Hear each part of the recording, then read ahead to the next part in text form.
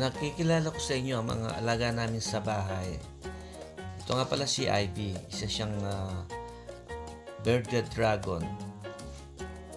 Kumakain siya ng mga gulay, mga insekto, at mga prutas. Pero ang paborito niyang kainin ay mga insekto. Ayan si Ivy. Oh, kainin mo na. Oh, kain na. Ah, nagtampo yata. Ayan, alagang-alaga si Ivy. Inaalis pa yung mga ano niya sa mukha, mga dumi. Ah, eto, pinapakain siya. Ang paborito niyang kainin ay mga insekto. Ayan, pag insekto, natataranta na siya. Ayun, takma na. Eko, ayun. Pag insekto, talagang alisto siya. Ito naman, isang water turtle, ang pangalan niya ay si Charlie. Isa siyang pagong.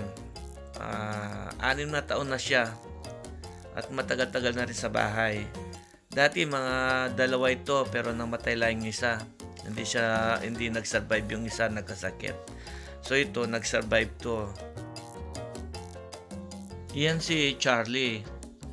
Mahilig magipaglaro yan basta kinakatok-katok mo lang yung uh, bahay niya. Matatarata na siya. Ayan no, kinakatok-katok ko. Nakakaaliw siya.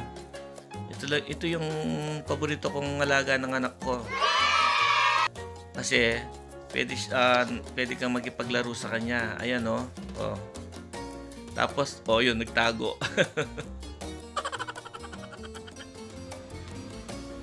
Saka ang ganda niya. Tingnan nyo yung lukod do. Oh, para siyang tattoo na sinadya. Ang ganda no.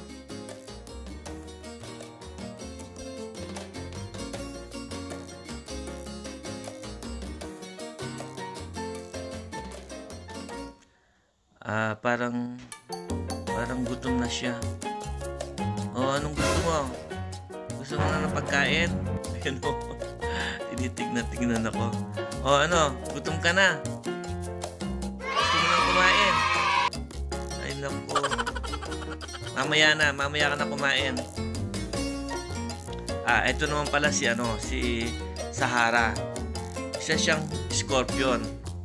Medyo nakakatakot ng konti kasi uh, alam niyo na yung mga scorpion uh, nakakatakot talaga yan.